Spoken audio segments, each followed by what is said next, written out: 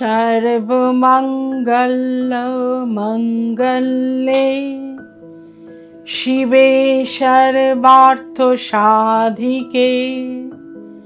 शरण्ये त्र्यम्बके गौरी नारायणी नमस्तु ते सृष्टिसृतिविनाशानं शक्तिभूते सनातनी गुणश्राये गुणोमये নারায়ণী নমস্তুতে জয় মা নমস্কার আমি অ্যাস্ট্রোলজার বৈশালী সরকার দু হাজার একুশ সালের একদম শেষে এসে আমরা পৌঁছে গেছি আমাদের প্রত্যেকের আশা বা হোপ থাকে যে দু হাজার বাইশ সাল যেন আমাদের জীবনে একটা নতুন দিগন্ত নিয়ে আসতে পারে।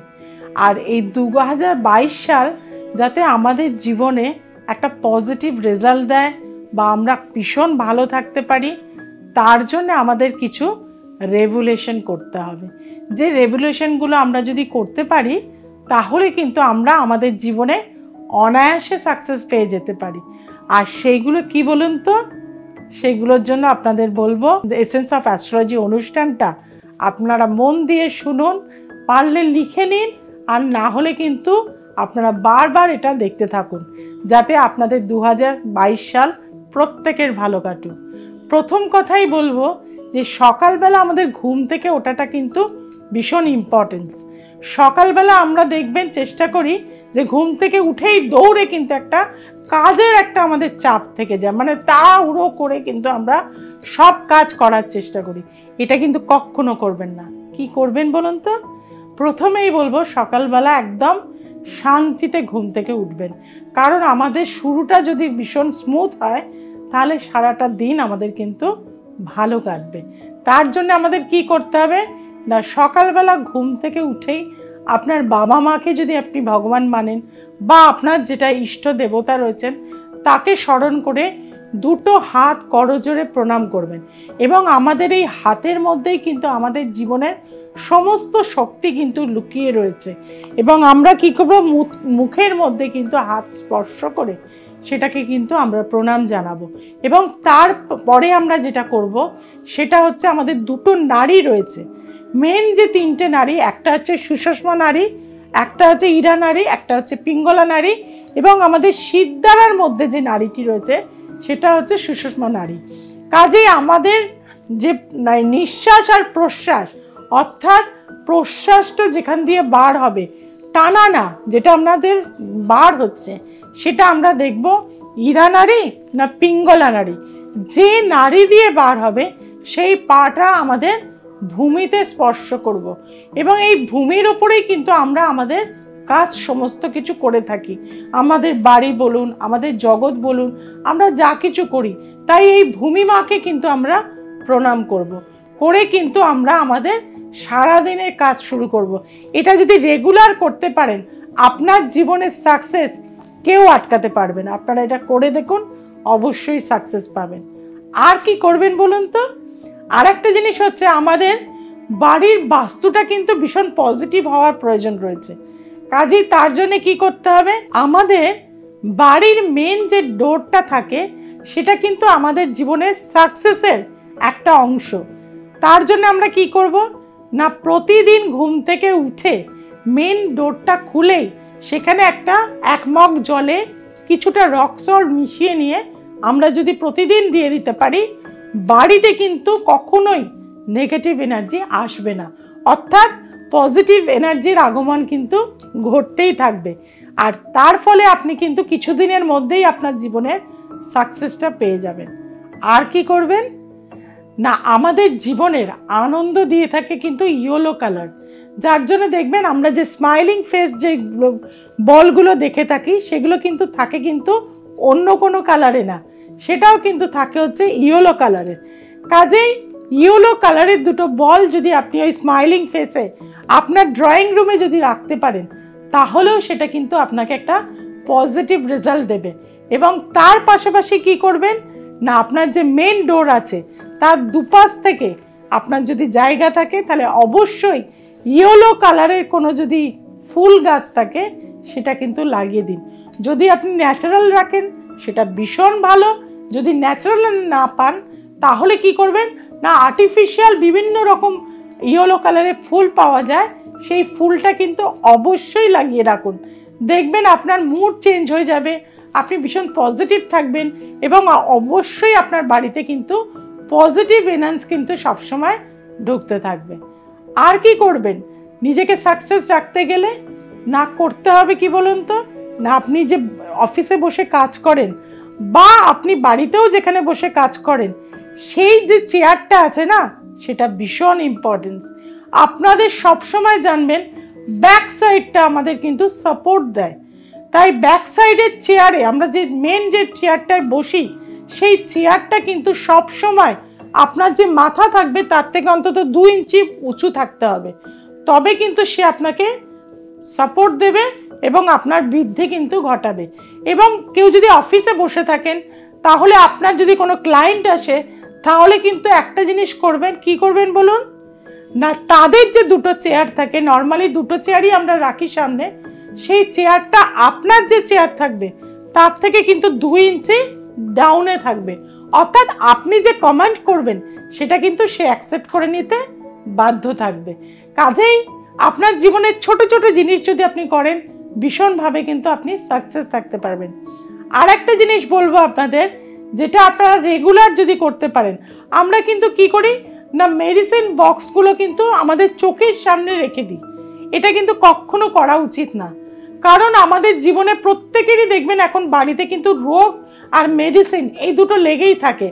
আর দু হাজার কুড়ি বলুন বা একুশ বলুন, আমরা হয়তো প্রত্যেকেরই বাড়িতে কারও না কারও কিন্তু এই নানা রকম প্যান্ডামিক সিচুয়েশনের মধ্যে দিয়ে আমরা গিয়েছি। সেই কারণে প্রচুর মেডিসিন কিন্তু আমরা চিনে গেছি বা বাড়িতে স্টক করে রাখি। কিন্তু এই মেডিসিনটা কখনো চোখের সামনে রাখবেন না।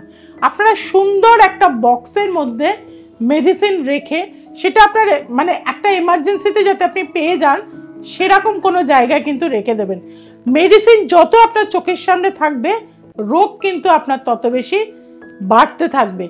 কারণ আমাদের সাবকনসিয়াস মাইন্ড যেটা দেখে, সেটাই কিন্তু ক্যাপচার করে নেয়। কাজেই আমরা কিন্তু কখনোই মেডিসিন চোখের সামনে রাখব না। তাতে কিন্তু আমরা অনেক বেশি পজিটিভ থাকব এবং সুস্থ থাকব। আমাদের জীবনে অনেক সময় আমাদের নেগেটিভ থিঙ্কিং প্রচণ্ডভাবে চলে আসে। আমরা ভীষণভাবে স্ট্রেসের মধ্যে চলে যাই। এবং সেইটা থেকে বার হওয়ার জন্য আমরা কিন্তু নানা রকম জিনিস করতে থাকি। তার জন্য আমি বলে থাকব, কি করবেন আপনারা? একটা সহজ পদ্ধতি আজকে আপনাদের শিখিয়ে দেব। কি বলুন তো? না, আপনাদের যে প্রবলেমটা রয়েছে, সেই প্রবলেমটা আপনারা প্রতিদিন রাত্রিবেলা একটা কাগজের মধ্যে ব্ল্যাক কালি দিয়ে লিখবেন। এবং সেটা যার যে বিষয় হতে পারে, আপনি খুব বসকে নিয়ে টেনশনে রয়েছেন, সেটা লিখতে পারেন। আপনার সন্তান কুসঙ্গে চলে যাচ্ছেন, সেটা লিখতে পারেন।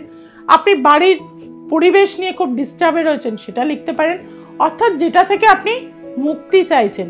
এই মুক্তির পথ কিন্তু আমরাই পারি নিজেরা বার করে দিতে। কীভাবে করবেন বলুন তো? না, যার যে সমস্যা রয়েছে, সেই সমস্যাটা আপনারা কাগজে লিখবেন। এবং কি করবেন? একুশ বার, অন্তত কম করে একুশ বার, সেটাকে ছোট ছোট টুকরোতে কিন্তু আপনারা ছিঁড়ে ফেলবেন। ছিঁড়ে ফেলে আপনারা একটা ধুনুচির মধ্যে সেটা কিন্তু আগুন দিয়ে প্রতিদিন রাত্রিবেলা শোয়ার আগে ড্রেনেজ করে দেবেন।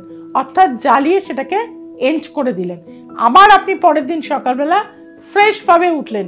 আপনার যদি ভয় বা টেনশন থাকে, আপনি কম করে ফর্টি ফাইভ ডেজ এটা করে দেখুন। সমস্ত সমস্যার সমাধান আপনি নিজেই খুঁজে বার করে নিতে পারবেন। কাজেই দু সালকে আমরা ছোট ছোট জিনিসের মাধ্যম দিয়ে ভীষণ ভালো করে নিতে পারব। আর দু বাইশ মানেই কিন্তু কোন সংখ্যা আসছে? টু জিরো টু টু অর্থাৎ নাম্বারের ডিজিট আছে কিন্তু সিক্স অর্থাৎ two plus zero plus two plus two অর্থাৎ সিক্স ডিজিটটা আসছে। অর্থাৎ আপনার মেন যে দরজা আছে, সেখানে আপনি যদি সিক্সটা যদি হোয়াইট কালার বা সিলভার কালার দিয়ে দেখেন, সেটা আপনার জন্য পজিটিভ আপনার যে মোবাইল ফোনটি রয়েছে, যার লকিং পাসওয়ার্ড সবসময় প্রত্যেকের আলাদা হয়ে থাকে। কিন্তু সেই পাসওয়ার্ডটাকে আপনি যদি এমন ডিজিটে করে নেন, যেটা সিক্স ভাইব্রেশন আসবে, অর্থাৎ অলওয়েজ আপনার মধ্যে কিন্তু সিক্স সিক্স মানেই কিন্তু গ্ল্যামারাস সিক্স মানেই কিন্তু আপনাদের সাকসেস সিক্স মানেই হচ্ছে কিন্তু অপরচুনিটি সিক্স মানেই হচ্ছে লাক্সারি কাজেই আমরা ওয়েলথ হ্যাপিনেস প্রসপেরিটি সমস্ত কিছুই কিন্তু এই সিক্সকে ক্যাপচার করে কিন্তু পেয়ে যেতে পারি। তার জন্য কি করব? না, আমাদের যে ফোনের লকিং নাম্বারটা আছে, সে ধরুন কারও কোনো একটা নাম্বার রয়েছে, সেটাকে কি করবেন? থ্রি ডবল জিরো থ্রি যদি করেন, তাহলে দেখবেন পা মানে যদি প্লাস করেন সিক্স আসবে। বা টু জিরো টু টু যদি করেন, তাতেও আপনার পাসওয়ার্ড কিন্তু সিক্স আসবে। অর্থাৎ সিক্স পাসওয়ার্ডে কিন্তু আপনাকে আনতে হবে।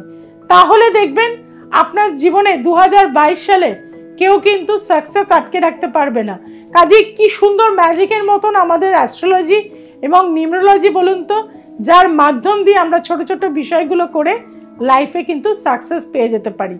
আর একটা কী করব? না হারমোনি আমরা অবশ্যই চাই বা সাপোর্ট আমরা সবসময় চাই।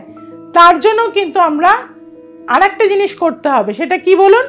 না, আমাদের যে প্রসপারিটি বা ওয়েলথ সেটা কোন জোন থেকে দু হাজার বাইশ সালে আসবে বলুন তো? না সাউথ ইস্ট কর্নার আমাদের জীবনে অলওয়েজ কিন্তু আমরা কম্পিটিশনের মধ্যে দিয়ে যাই। আর এই কম্পিটিশনের সাকসেস আমরা প্রত্যেকেই হতে চাই। আর এই কম্পিটিশনটা আমরা কিন্তু আমাদের নিজেদের মধ্যেও কিন্তু সাকসেস লেভেল বাড়িয়ে নিতে পারি। তার জন্য কি করব বলুন তো? না ম্যাগনেটিক যে চেস বোর্ড রয়েছে না, সেটা অবশ্যই আপনি একটা কিনে নিয়ে আসবেন। দু হাজার বাইশ সাল পড়ার আগে। এবং ফার্স্ট জানুয়ারি সেটা আপনার বাড়ির নর্থের দিকে কিন্তু সেই ম্যাগনেটিক চেস বোর্ডটি লাগিয়ে রাখবেন বা তাক করে সেখানে কিন্তু সাজিয়ে রাখবেন। এবং মাঝে মাঝে কিন্তু সেটা ইউজ করবেন। তাতে দেখবেন আপনার জীবনে যত কিছুই চ্যালেঞ্জ আসুক বা যত কিছুই প্রবলেম আসুক, সেই প্রবলেম বা চ্যালেঞ্জ থেকে কিন্তু আপনি উইন হয়ে যাবেন। অর্থাৎ সাকসেসের চাবিকাঠিও কিন্তু খুব সহজেই আপনি কিন্তু পেয়ে যেতে পারেন। আর কি করবেন? না, আমাদের সাউথ ইস্ট কর্নারে কিন্তু আমাদের দু সালের কিন্তু সাকসেস জোন লুকিয়ে রয়েছে। কাজেই দু হাজার বাইশ সালে বাস্তু সাউথ ইস্ট কর্নারটা ভীষণভাবে পরিষ্কার পরিচ্ছন্ন রাখবেন। ওখানে কখনোই কিন্তু মিক্সি বা ওয়াশিং মেশিন রাখবেন না। তাহলে আপনার জীবনের সমস্ত প্রসপেরিটি ঘেটে ঘ হয়ে যাবে। কাজেই তার জন্য কি করবেন? না, সেই জায়গাটা একটা হোয়াইট কালারের ফ্লাওয়ার ভাস রাখতে পারেন এবং সেখানে কিন্তু আপনারা ভাইভার প্লকির একটি কিন্তু পিকচার রাখতে পারেন। এবং আপনাদের যে এই যে ফোন নিয়ে আমি একটু আগেই বললাম, যে ফোনের পাসিং লকিং পাসওয়ার্ডটা চেঞ্জ করে দিন সিক্স ডিজিটাল সেটা তো অবশ্যই করবেন। এবং ফোনটা কোথায় চার্জিং দেবেন বলুন তো? দু হাজার বাইশ সালে? না দু হাজার বাইশ সালে কিন্তু ফোনের মাধ্যম দিয়ে যারা বিজনেস করেন কারণ প্রত্যেকেই আমরা কম বেশি ফোনের সাথে কিন্তু ওতপ্রোতভাবে জড়িয়ে রয়েছি। তাহলে কিন্তু আমাদের ফোনটা কিন্তু আমরা চার্জিং করব সাউথ ইস্ট কর্নারের দিকে। আর এই ছোট ছোট জিনিসগুলো করুন আর দু হাজার বাইশ সালে বিশেষভাবে কিন্তু আপনি সাকসেস পেয়ে যাবেন। কেমন লাগছে আমার অনুষ্ঠান? আপনারা দু একুশ সালে আমাকে প্রচণ্ডভাবে সাপোর্ট করেছেন, ভালোবাসা দিয়েছেন ডাইসেন্স অফ অ্যাস্ট্রোলজিকে সমস্ত জায়গায় ছড়িয়ে দিয়েছেন এবং চারা গাছ থেকে একটু কিন্তু বৃদ্ধির জায়গা আপনারাই কিন্তু আমাকে তুলে দিয়েছেন। কাজেই দু হাজার বাইশ ফিমেলের ইয়ার আর আমি একজন ফিমেল আপনারা আমাকে সাকসেস পাইয়ে দেবেন। তার জন্য কি করবেন? দ্য এসেন্স অফ অ্যাস্ট্রোলজিকে প্রচুর পরিমাণে কিন্তু এবছর সাবস্ক্রাইব করে নিতে হবে এবং যে বেল আইকনটি রয়েছে, তাকে প্রেস করে দিন। আপনাদের বন্ধু, বান্ধব আত্মীয় স্বজন সকলের কাছে কিন্তু ছড়িয়ে দিন। সবাইকে আগাম নতুন বছরের ইংরাজি নববর্ষের আগাম শুভেচ্ছা জানাচ্ছি। Happy new year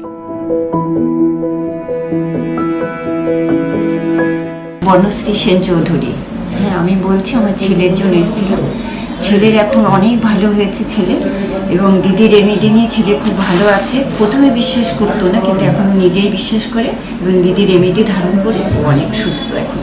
ছেলে একটু বাজে পথে চলে গিয়েছিল, নেশা ধরে গেছিল বন্ধুদের সঙ্গে মিশে। তা আমি দিদির কাছে এসে অনেক উপকার পেয়েছি। ছেলেও অনেক ফিরে গেছে। আশা করি একদমই ভালো হয়ে যাবে ছেলে। তা আমি বলব, আপনারাও মানে এই সমস্যা যদি কেউ থাকেন দিদির কাছে আসুন, নিশ্চয়ই সমাধান পাবেন দিদির কাছ থেকে। আমি বৈশালী ম্যাডামের কাছে সাউরাফুলি চেম্বারে এসেছি। আমার নাম রাজু দে। আমি এসে এখানে দিদির কাছে সাকসেস পেয়েছি। যারা আপনারা এখনও পর্যন্ত দিদির কাছে আসেননি বা আসব আসব মনে করছেন বা সঠিক সুবিচার চাইছেন, তারা অবশ্যই দিদির কাছে আসুন এবং সঠিক প্রতিকার নিন, তাতে জীবনের দিশা আরও বড় হবে।